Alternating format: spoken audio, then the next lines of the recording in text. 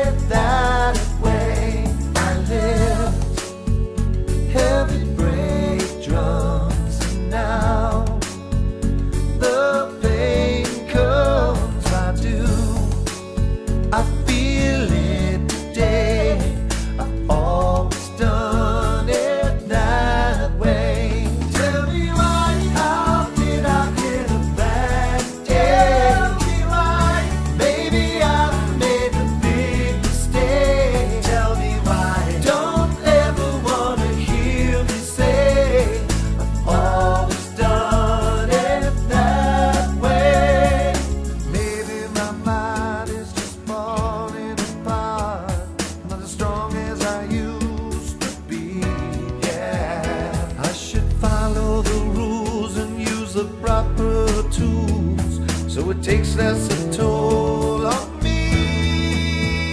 It's time I realize the safe choice is.